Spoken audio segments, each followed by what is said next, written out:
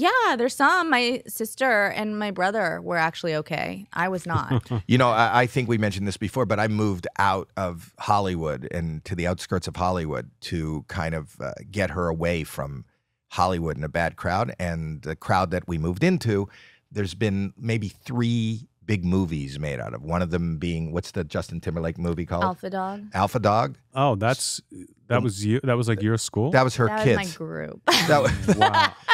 and uh, 13, yeah. 13 Okay. Reasons, That's Something I forget what it's called. the Nick Cassavetes movie. yeah. But it was a mess. Those kids were a mess. The the bling ring. I was friends with Nick Cassavetes' daughter. That's what. Yeah. Yeah.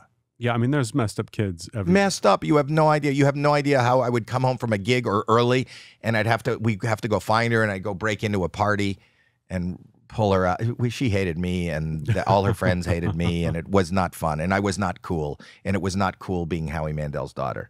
I don't think it's Do you ever want kids? Uh, it doesn't come up. My therapist was, was like, "Do you want kids?" I'm like, "I don't know." And she goes, "In seven years of therapy, you've never once mentioned children." So that means no. yeah, You don't I'm, have to. I'm want fine kids. if it happened. I've got money. I could deal with it. That's. That's so emotionally attached. Yeah. That's an attachment. I got a dog during the pandemic, and that's enough. That's enough fatherhood for me. yeah. Are you in a relationship now? Uh, in between, in between.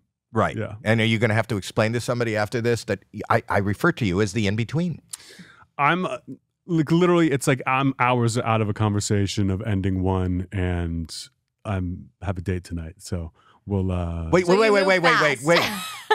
That's hysterical. You, you, you just you have a date tonight, yet somebody has just been alerted that it's the end of. It was it was something that kind of ended, and then they found out about this new person, and we had to have a talk. Uh, but I'm it's I'm pretty casual with things. Is it somebody we know? You don't have to tell me, but just tell me if it's somebody we know. you may have no, no one famous. Oh, But because you- have gone out with famous people. You were, you were Yes. Amy. Yes, uh, ten years ago, uh, didn't didn't enjoy it. Uh, prefer prefer civilians to be quite honest. Um, but Does you- she know you didn't enjoy it? Have you said that publicly? Amy? Yeah. Oh yeah. I don't know publicly. I, I mean, I enjoyed dating Amy, but when the, when thing, when fame got in there, it was just a, it was just got messy um, for both of us. We kind of both blew up at the same time. Uh, but yeah, this new this new one, I think you've met her, but uh, but not for a while.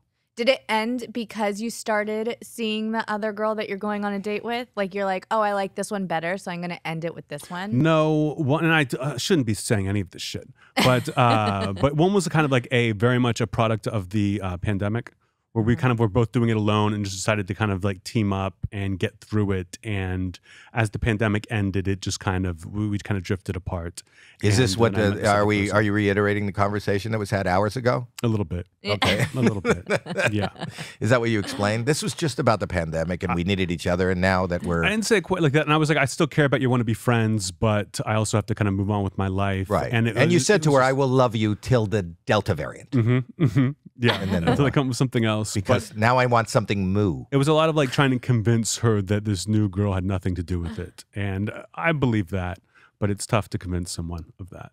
But at your age and with your track record, you're not going to settle down, though, right? I, I think if I if I was going to, I would have by now. That I I could That's see, I think. Like I could see maybe like a you know un, a, an untraditional partnership down the line where we're just kind of like we kind of want to leave each other alone and we live in the same house and and uh, do things together. But I'm very happy being single and We live in the same alone. house. We love well, being I'm together. not for. There's this whole new movement about not like even if you're married, not sleeping in the same bedroom. Mhm. Which I'm not saying anything about my relationship. We're pretty conventional, but there's this whole movement that like, why are you supposed to even stay in the same bedroom? Like, why don't people have separate bedrooms? Because you're supposed to have your separate space, and why is that a weird thing? So you can have something like that where you just. but like, that's have a- roommates. That's not a. No, it doesn't have to be. I always say that I would rather be lonely than annoyed. And Yeah. I've just gotten annoyed in almost every relationship I've been in at some point. And I'm very, I, I, I, I always say I get into one fight at the end, and then that's it. But it's it's usually like a very It builds up. congenial, jovial. Yeah, yeah. I guess it just you just I don't have the practice of dealing with little problems. I love that your So breakups are builds up. congenial and jovial, but your uh, well, the comedy is relationships are- dark and yeah. pointed. Oh yeah, well, are you an only child? oldest of five. Oh. What Yeah. was your Okay. theory? I mean, he gets annoyed easily at other people. I just He lived had with he lived with four other people so that maybe were that's why. Maybe put you're on just this earth to annoy him. Yeah. Yeah, I was annoyed. I was annoyed until I got to leave for college. You're the oldest. hmm What's the range? You're in your 40s, right? You're, Yeah, 42, and then it's uh, like my sister. What's the below me youngest? is 40. Uh, the youngest is my brother. It was me, three girls and a brother. He's seven years younger, so he just turned 35 uh, five or six months ago. Right, and they all. uh, I don't know that they all, but I just listened to your act. They they are some of them are married with kids. My my sister's married with kids. Nothing in my act is true. None of that. Like I I, I like kill my parents every hour, you know, Right. and resurrect them for the next hour. Grandparents are coming and going. Sisters are dying. Uh, yeah, nothing's when they hear these things and they're part of these made up stories, does that bother them?